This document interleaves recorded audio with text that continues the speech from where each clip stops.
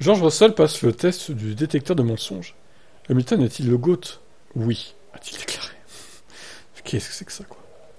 George Lazenby de Sky Sports a demandé à George s'il pensait que Lewis Hamilton était le meilleur de tous les temps. La réponse de lui était simple, il a dit oui. Le détecteur de mensonges a confirmé qu'il disait la vérité.